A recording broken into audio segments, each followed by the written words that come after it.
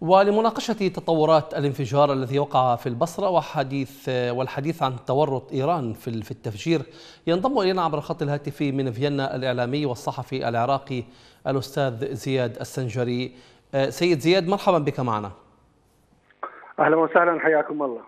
انفجار البصرة اليوم وقع بواسطة دراجة نارية مفخخة وأوقع أربعة ضحايا إلى جانب أربع إصابات أخرى. كيف تقرأ هذا الانفجار وتوقيته؟ نعم أكيد. سمعنا سمعنا هذا الخبر والحادث الذي وقع اليوم وهو انفجار عبوة قمعيه معلوم أن أن هذا الأسلوب هو أسلوب فرق الموت التي تنتهجه في بغداد والمحافظات العراقية الأخرى حيث قامت بنقل هذه العبوة القمعية زنه 5 كيلوغرام على دراجة أحد الأشخاص أو شخصين كانوا موجودين ينقلون هذه العبوه الحقيقة وكان يراد لها تفجيرها على أحد المحققين الذي يحقق في مسائل تخص فرق الموت في محافظة البصرة. نعم. كيف يمكن تصور دخول مثل هذه المفخخات إلى البصرة في ظل كل هذه السيطرات الأمنية حول وداخل المدينة أم أن الفعل بالفعل من داخل هذه المكونات؟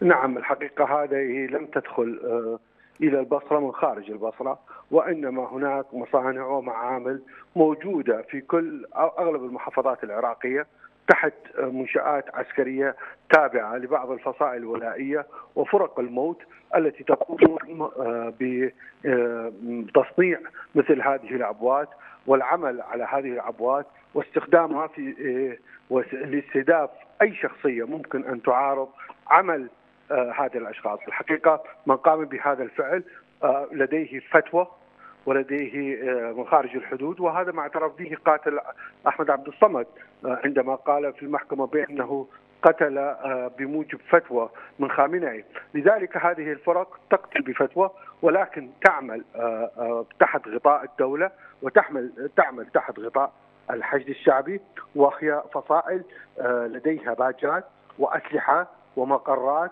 بعلم الدولة العراقية وتقوم باغتيال المواطنين وهذا ما حدث وما يفسر ما يحدث الآن في جنوب العراق من عمليات اغتيال لشيوخ وناشطين وصحفيين وإعلاميين وغيرهم كل من يعارض هذه العملية التي تجري الآن في جنوب ووسط العراق. نعم. بحسب مصادر صحفية وكما تفضلت قبل قليل فإن فرق الموت هي المسؤولة عن الانفجار. والسؤال اليوم هل يعني ذلك إذا كان يستهدف الانفجار أحد المحققين بأن هذه الفرق تريد أن توصل رسالة إلى كل ضباط الأمن والعاملين في القوات العسكرية بأن من يقف ضدهم أو في مواجهتهم سيكون مصيره الموت وبالتالي تبقى السيطرة على هذه الحالة من الفوضى المنظمة؟ نعم هذا أسلوب إرهاب إرهاب للمواطن، إرهاب للأجهزة القضائية، إرهاب إلى السياسيين، إرهاب للسياسيين المناوئين طبعا، إرهاب لمؤسسات الدولة، آه كل شخص يعارض أي مصلحة أو أي شخصية في آه فرق الموت مصيره هو الموت، هي سميت فرق الموت لأنها تنتهج الموت. والقتل ولا سبيل لديهم ولا طريقة لديهم سوى قتل الإنسان العراقي. استهداف الإنسان العراقي بموجب فتاوي وبموجب دعم مالي وسلاح.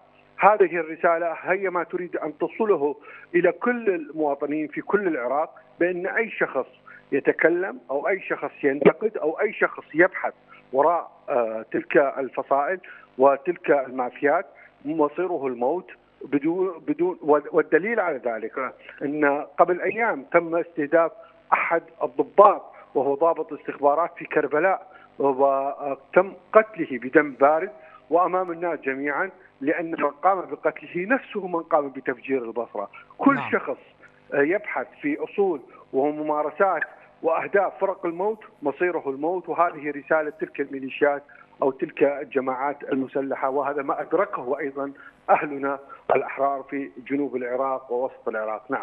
من ناحية أخرى إلى أي مدى تتوقع سيد زياد مزيد من التصعيد الأمني في المرحلة القادمة بالتزامن مع الصراع المحتدم حول نتائج الانتخابات؟ نعم الحقيقة الصراع هو على المناصب وليس نتائج الانتخابات هو الكراسي فلو كانت الكتل الفائزة أرسلت رسالة بأن المناصب سيتم توزيعها مثل ما حدث بعد 2003 ولحد الآن فإن آه، كل هذا العمليات وكل هذا التفجير وكل هذا الاستهداف يقل آه، كثيرا.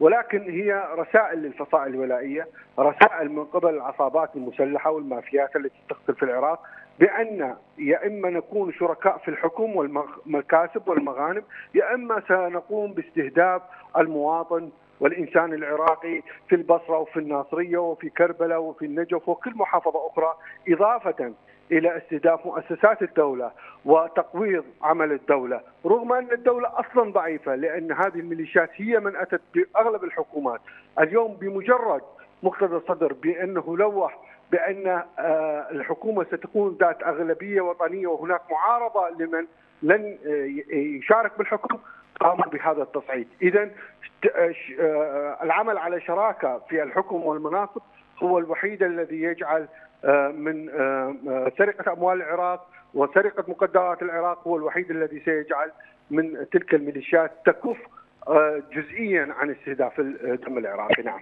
طيب سيد زياد طالما أننا أمام صراع نفوذ بين الميليشيات و إنجاز التعبير بين آه، الأمن والمخابرات وذلك بعد استهداف عدد من ضباط الأمن والمخابرات. ماذا يعني أن يبقى الباب مفتوحا للاغتيالات على مصراعيه آه، وخاصة من طرف واحد تجاه الطرف الآخر؟ الحقيقة ضباط المخابرات وضباط الأجهزة الأمنية الأخرى عاجزون آه، أمام آه، تلك الميليشيات. ليس لأنهم آه، أكثر الميليشيات أكثر عددا أو أكثر تسليحا وإنما عدم وجود قرار من السلطات الأعلى بمكافحة هذه الظواهر موجودة في العراق. من يحكم ومن يأتي بأمر للأجهزة الأمنية هو شخص أتت به الميليشيات. من موجود الآن في الحكم هو شخص لم يفز بانتخابات هو شخص آه، أو أشخاص آه، لم يحظوا آه، بتصويت المواطن العراقي. هم أشخاص أتت بهم المحافظة الحزبية أتت بهم الأحزاب الفاسدة.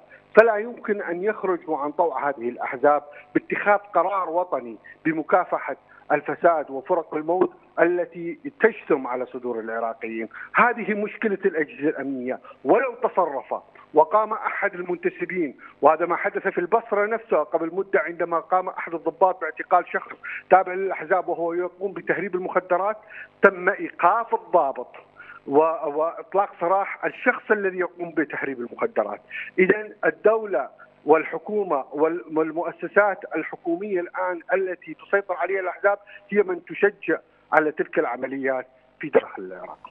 أشكرك جزيلا الاعلامي والصحفي العراقي زياد السنجري كنت معنا من فيينا.